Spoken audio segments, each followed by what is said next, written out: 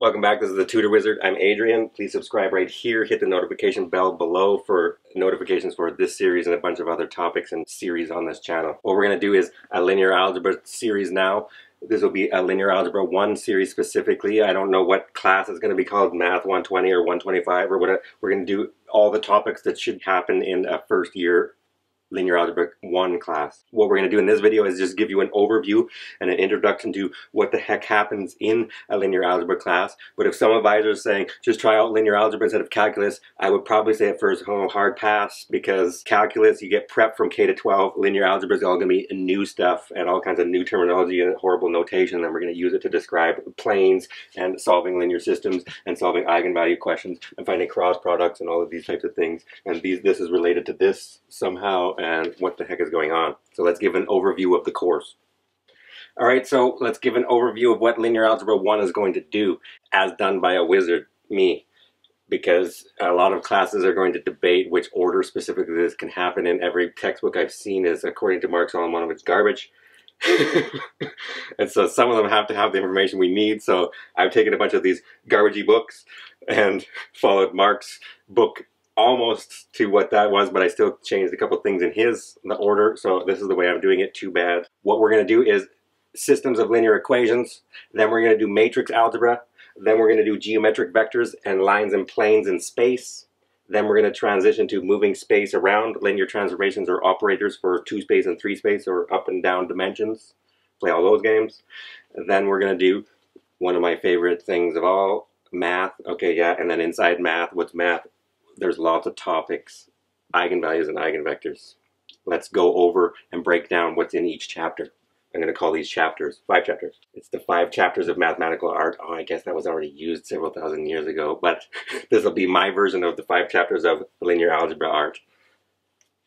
All right, what we're going to call chapter one through this series is going to be systems of linear equations. This is the helicopter view before we go through the forest. You're like, I know I'm never going to get to drive a helicopter. Probably not. Swat, get your hands off of that. But as you're going through the jungle, at least I took you up one so that you can see the pitfalls that are going to be like happening to you and there be dragons over there and there's a waterfall over there and watch it. So yes, chapter one is going to be introduction and motivating examples. I like to give historical ones that are in books for thousands of years and people have been giving them to students all the way up and then now I get to give them to you on the YouTube. Don't call it the YouTube. I do what I want. Section two is going to be, we're going to step through this one at a time. First, we're going to deal with one equation and then one unknown. And you laugh at those, but this idea is actually the crux once we go through this horrible Gaussian-Jordan elimination. Actually, this is how I solve all of these larger systems by just doing this one equation and one unknown idea by eliminating things. So we're going to do one equation and one unknown, then one, one equation and two unknowns, x plus y equals 7, and then we're going to get one equation with as many knowns as you want. Then what we're going to do is step it up from here, what we're doing is considering one equation and stepping up how many unknowns we have. And then we say now we'll finally get a system where we have at least two equations and you can have two unknowns. And then what we're going to do is once you see that game, we'll generalize to having m equations and n unknowns and that's arbitrarily large. You can have as many equations as you want and as many unknowns as you want and we have a systematic way of solving all m by n linear systems using what we call row operations and something called Gaussian-Jordan elimination. Carl Friedrich Gauss and Wilhelm Jordan are the two guys that do this, so they get their namesake. It probably wasn't them first. I know, Folker, I know. All right, chapter two is going to be matrix algebra. Once we have the notion of we're going to couch solving linear systems and Gaussian-Jordan elimination, all these things, you're going to find out we're going to use this augmented matrix, and then we're going to get it to where we have the unique solution, no solution, or infinitely many solutions. Oh, you're going to hear me say that in these videos all the time. What was that? There's only ever one solution, no solution, infinitely many solutions. Trust me, that's the fact. Once we do that, we're going to give in chapter two the general definition of what a matrix is, and then we'll get the linear operations, scalar multiplication and addition and those types of things. And then we're going to start doing, oh, the not so fun ones of the definition of matrix multiplication, how to take two rectangular arrays and make them multiply. It's not like numbers. Then what we're going to do is once we're doing this, we're trying to mimic the structure of the real numbers as a vector space uh, or these 10 axioms. And when I add two matrices, it doesn't create a new thing, it just creates a matrix. And then when I scalar multiply, it doesn't create a new thing. And then scalar multiplication is coordinate wise. And then once we start building all that linear operators, then we get a matrix multiplication. Then we have to say what is one times A is A, and we want to do the same thing for matrices. We want to say who times A is going to leave A alone when this is no longer real number multiplication. This is matrix multiplication, and oh no. So in this chapter, we're going to start mimicking the idea of real number properties with defining this new objects called matrices and how that matrix multiplication and all these things work. So we're going to get a matrix identity and then what we call a multiplicative inverse for a matrix. And then we want to know when do those exist and how do I find them. Once we do that, first we'll get solving linear systems with inverse matrices and we'll give you a first version of how to find inverse matrices using elementary matrices, which gives you a clever row reduction method like in chapter one of solving inverses. You're like, good, why would I keep going? Well, fractions abound and solving large linear systems is horrible. Carl Friedrich Gauss, who was first doing this, is looking for the orbit of Ceres, the largest asteroid in our asteroid belt, and he had some 24 equations and 28 unknowns or something ridiculous. So yeah, this is not going to be easy to solve. He gives the systematic way of doing this but solving them is no fun. Instead, what we're going to do is get this whole theory called determinants and then three operations on determinants and how to compute these efficiently using cofactor expansion and three determinant properties. Then once we do that, we're going to give an inverse matrix formula. The inverse of a matrix, if it exists, is going to be 1 over the determinant of A, which has to be non-zero, so I can divide by it. That's a number, times this cofactor matrix transposed, which we call adjunct or adjoint adjunct, says Mark, so adjunct.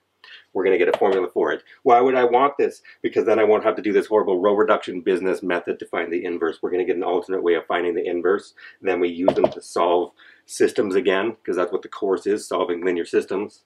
And then we get Gabriel Cramer's rule, which says that solutions are actually usually nasty because when we see Cramer's rule, we see that the solutions are always can be viewed as ratios of determinants. So unless those determinants divide each other, they should always be fractions he actually highlights the fact that they should normally be nasty. If you got a nice one, it was because I cooked it up for you. The universe doesn't care. Chapter 3. We'll move on to geometric vectors, lines, and planes. What we're going to do in there is mimic what we did in chapter two with matrices and structure them as what we're going to call a vector space. We're going to do the exact same thing with these things called geometric vectors. We're going to define a new object. We're going to define a scalar multiplication and an addition. We're going to show that they're closed and that doesn't create new things. Then we're going to do all the algebra where we need a zero vector which leaves anybody alone. And then we need an antipodal or inverse or negative vector. And then we get all the algebra that we're doing. So along the way what we're going to do is basic definitions and linear operations again but for geometric vectors. Then we'll do vector algebra, the zero vector and antipodal vectors and all this kind of stuff. Then we'll move into what we mean by these two horrible, horrible definitions for you called linear independence and span. You're welcome.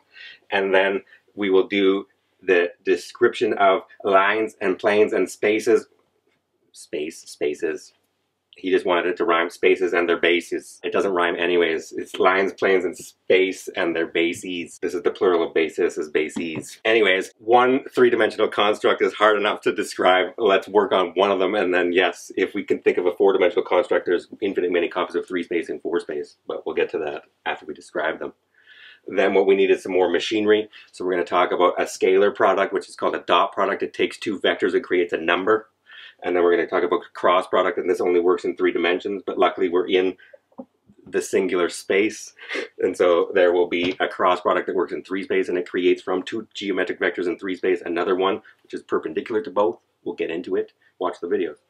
And then we're going to describe lines and planes in three space using this notation in this section. And then we're roughly half done the course. And then now here comes the hard stuff Okay, this one's Jasper. She's harassing us in the background anyways. Okay, go play. Chapter 4 is going to be linear transformations. We'll do, as we always do, the basic definitions and properties. Then we're going to do one-to-one -one onto an invertible transformations. This is one that's a little bit more complicated section.